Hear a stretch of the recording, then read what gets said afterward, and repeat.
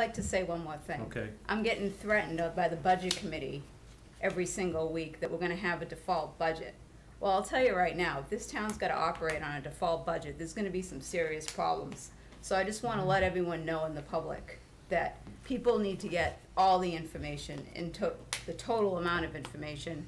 And if they don't like the response from the town manager, who is doing what he always does, his job, then, you know what, maybe they should decide how to run a town themselves, because I'm really sick of, you know, we gotta be the bad guys, we're always the bad guys, and then they can sit in those meetings and say whatever they want about us, and they're gonna take it out on Public Works, because Public Works is what suffers the most in this whole town. Mm. So I am for with what you want and however you wanna do it.